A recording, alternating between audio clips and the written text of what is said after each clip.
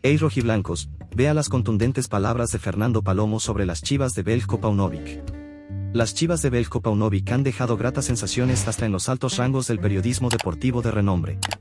El equipo rojiblanco ha sumado 21 puntos en sus primeras 10 jornadas. Ganándose así la imagen en ser un rival sumamente difícil de vencer, ya que es el único en derrotar a los dos primeros lugares de la tabla. Sin embargo el tema no va tanto por los resultados, sino también por el funcionamiento que ha mostrado el equipo dentro del terreno de juego.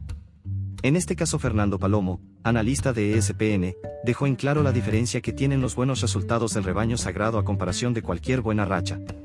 Ganar partidos puede hacerlo cualquiera. Ahora controlar partidos eso no es de todos.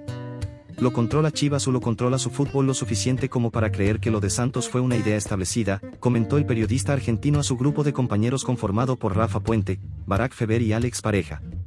Lo de Chivas no es casualidad, eso es.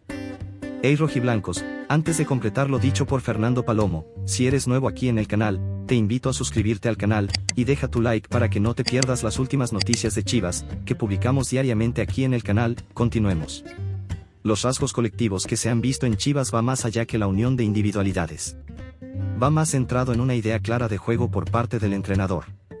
Por lo que podemos ir haciendo a un lado los argumentos de que el equipo solo depende de Víctor Guzmán por la cantidad de goles que lleva, cuando el club se ha visto claramente favorecido más por el sistema, implantado por el entrenador completó Fernando Palomo. Hey rojiblancos, ¿estás de acuerdo con este análisis que hace Fernando Palomo? Deja tu opinión en los comentarios sobre lo que piensas al respecto, porque tu opinión es muy importante y no olviden suscribirse al canal y dejar su like para seguir recibiendo más noticias de Chivas.